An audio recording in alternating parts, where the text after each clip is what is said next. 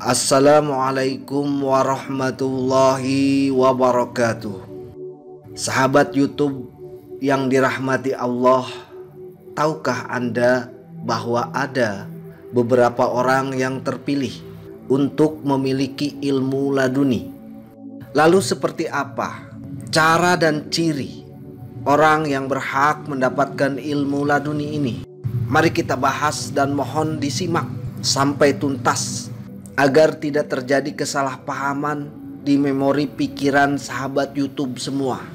Syukur Alhamdulillah kita bisa berjumpa lagi dalam kesempatan yang membahagiakan ini. Solawat serta salam semoga selalu tercurahkan kepada baginda Nabi besar Muhammad Sallallahu Alaihi Wasallam. Allahumma salli ala Sayyidina Muhammad wa ala ali Sayyidina Muhammad.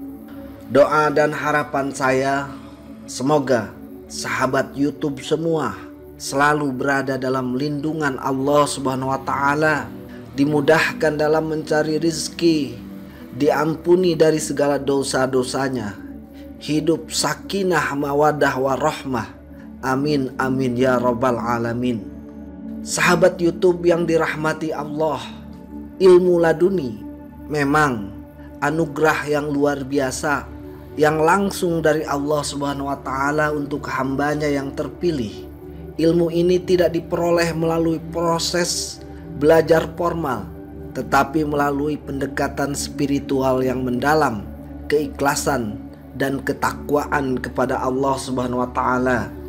Buat saya menelusuri cara memperoleh ilmu laduni ini adalah sarana untuk meningkatkan motivasi untuk mencapai tujuan yang lebih besar yaitu mendapatkan ridho dan kasih sayang Allah Subhanahu wa taala serta kebahagiaan dunia dan akhirat yang hakiki.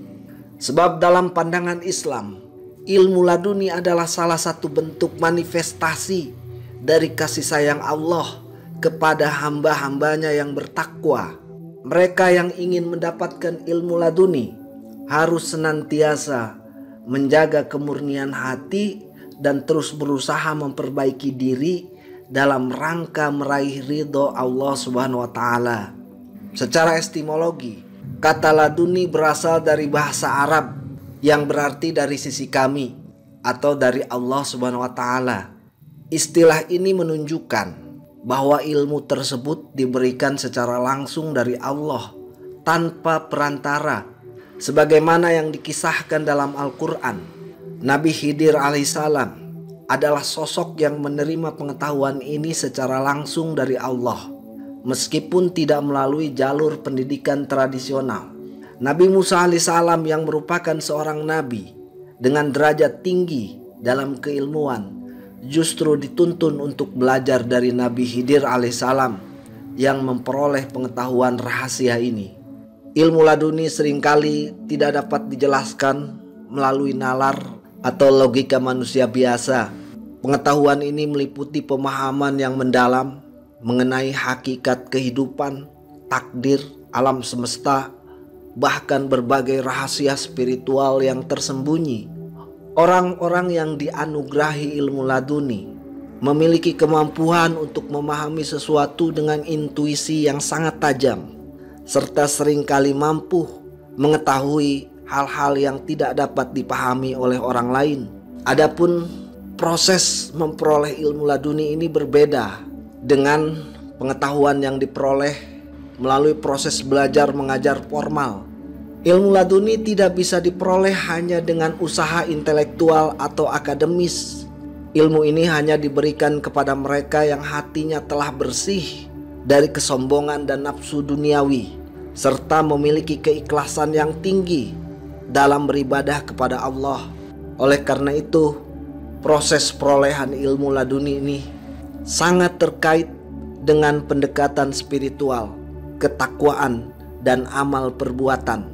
Orang-orang yang menerima ilmu laduni biasanya menjalani perjalanan spiritual yang mendalam. Mereka mungkin melewati berbagai ujian dan cobaan yang bertujuan untuk membersihkan jiwa mereka dari segala bentuk kecintaan pada dunia. Ujian tersebut bisa berupa kehilangan, kesulitan, atau pengalaman spiritual yang mengguncang yang pada akhirnya membawa mereka lebih dekat kepada Allah Subhanahu wa taala. Adapun langkah-langkah untuk mencapai ilmu laduni ini melibatkan yang pertama ikhlas dan takwa.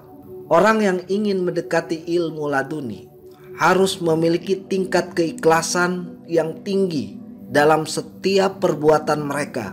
Mereka beribadah bukan karena ingin dipuji atau mencari keuntungan duniawi, melainkan semata-mata karena mengharapkan ridho Allah Subhanahu wa taala. Yang kedua adalah tazkiyatun nafs atau pembersihan jiwa. Proses pembersihan jiwa adalah langkah penting untuk mencapai kedekatan dengan Allah. Ini termasuk menjaga hati dari penyakit hati seperti kesombongan, iri hati, dan kecintaan yang berlebihan terhadap dunia. Yang ketiga adalah zikir dan kontemplasi. Banyak ulama dan sufi yang dianugerahi ilmu laduni sering kali menghabiskan waktu mereka dalam zikir dan tafakkur atau meditasi. Zikir menghubungkan hati dengan Allah dan menguatkan ikatan spiritual mereka dengan Allah. Yang keempat adalah menghadapi ujian dengan sabar. Ujian hidup sering kali menjadi tanda bahwa seseorang itu sedang dipersiapkan untuk menerima ilmu dari Allah Subhanahu wa taala. Ujian-ujian tersebut menguji keimanan dan keteguhan hati seseorang yang pada akhirnya dapat membuka pintu untuk menerima pengetahuan dari sisi Allah.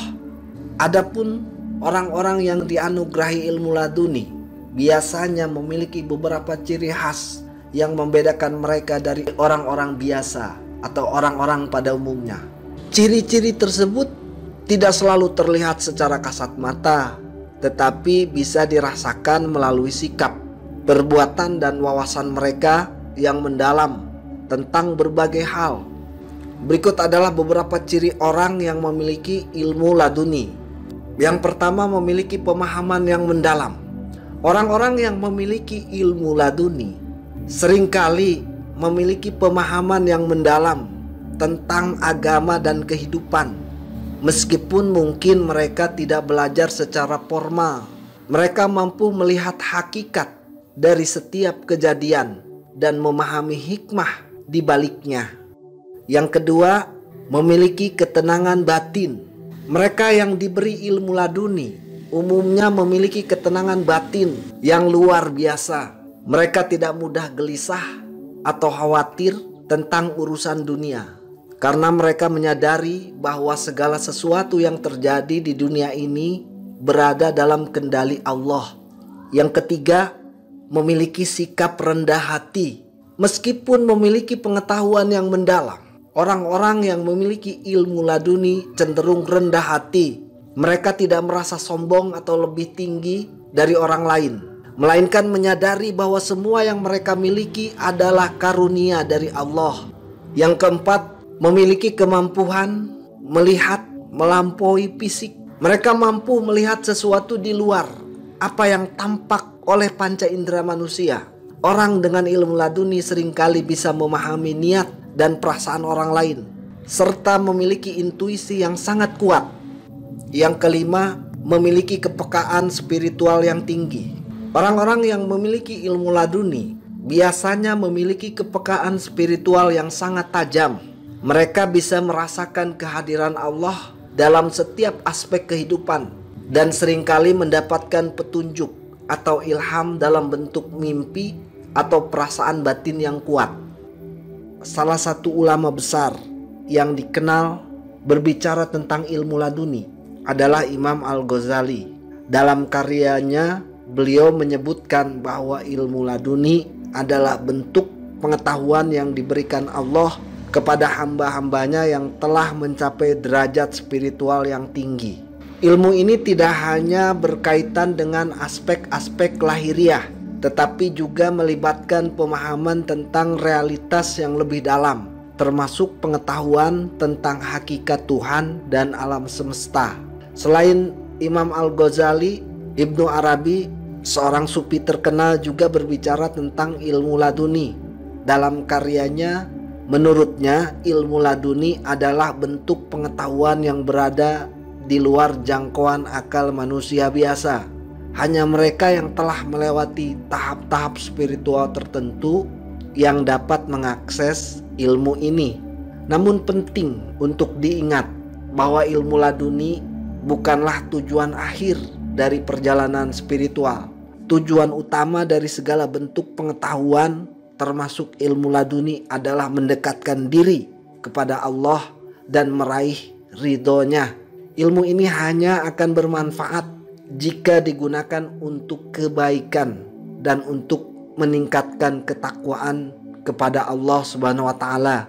Pada akhirnya ilmu laduni adalah sarana untuk mencapai tujuan yang lebih besar yaitu kebahagiaan hakiki di dunia dan akhirat.